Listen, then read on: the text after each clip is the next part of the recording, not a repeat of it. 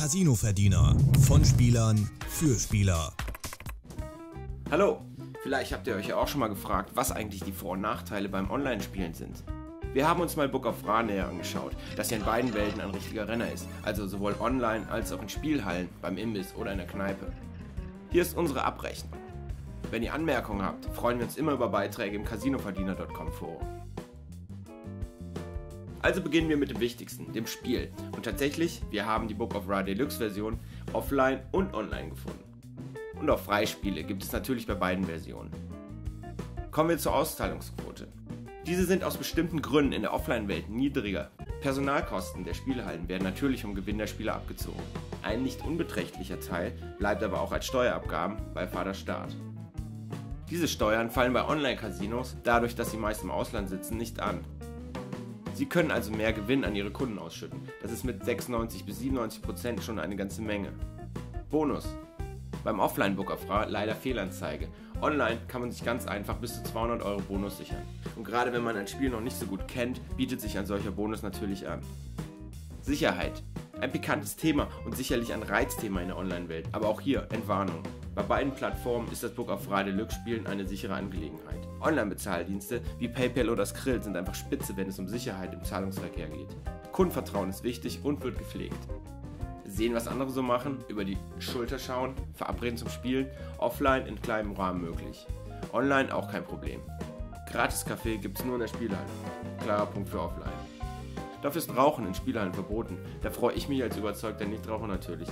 Trotzdem bin ich Befürworter des freien Willens. Daher geht der Punkt als Online-Book auf Fra Deluxe. Hier kann sich jeder selbst überlegen, was er während des Spiels konsumiert. Vorsicht mit Flüssigkeiten oder Asche auf der Tastatur. Die Multitasker unter uns müssen leider nach draußen in die Offline-Welt. Online kann man immer nur ein Spiel gleichzeitig spielen. Für mich kein Problem, ich konzentriere mich lieber auf eines. Ebenso was den Stammautomaten betrifft. Online eher schwierig, offline kein Problem. Kann natürlich besetzt sein, dann einfach hinten anstellen. Kostenloses Spielen geht nur online. Sicherlich für die ganz unbeleckten Book of Ra-Fans eine gute Sache. Wenn ich die Katze im Sack kaufen will, muss online spielen. Zwangspausen gibt's nur offline. Sicherlich für den einen oder anderen eine gute Sache. Online gibt es diese Funktion noch nicht. Nochmal zur Einzahlung. Bargeld ist sicherlich die sicherste Einzahlungsmethode. Kenne ich allerdings nur noch vom Kaugummiautomaten. Offline hier definitiv der Gewinner. Paysafe-Karte und Visa-Karte werden nur online angenommen. Darunter auch wie gesagt PayPal und Skrill und viele weitere sichere Anbieter.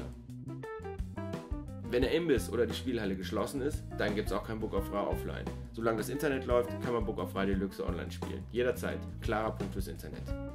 Der Mindesteinsatz ist offline kleiner. Dieser liegt bei 10 Cent im Gegensatz zu 20 Cent bei der Deluxe Online-Version. Hier geht der klare Punkt an offline. Allerdings sollte an dieser Stelle auch wieder die Auszahlungsquote betrachtet werden, die ja bei der Online-Version bis zu fast 40% höher liegt. Hier sollte jeder überlegen, wie er seine Einsätze wählt. Bei der Online-Version habt ihr auf jeden Fall viel mehr Spielraum, auch liegt der Maximalgewinn um ein kleines Vermögen höher. So viel also zu unserer Abrechnung. Für mich bietet die Online-Version von Book of Ra einfach mehr, aber das ist sicherlich Privatsache, oder? Wenn ihr Fragen oder Anmerkungen habt, besucht uns einfach auf casinoverdiener.com.